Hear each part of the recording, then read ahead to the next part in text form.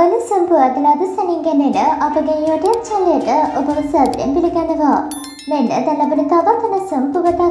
ගාලු මුවදනාරගලේ නායකයන් වන දනිෂ් අලිය විසින් පවසන ලද විරෝධතාවකට පැමිණ සිටි අට දෙනෙකු පමණයි.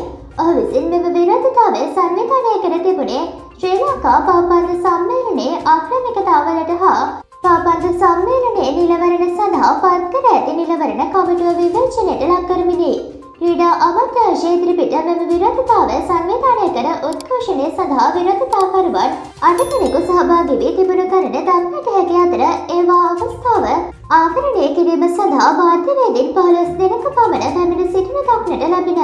මෙවැරුණු සම්පුවත්ලාද සනිතන ගැනීම සඳහා අපගේ YouTube චැනලය සබස්ක්‍රයිබ් කර බෙල් අයිකනක් ක්‍රියාත්මක කරන්න.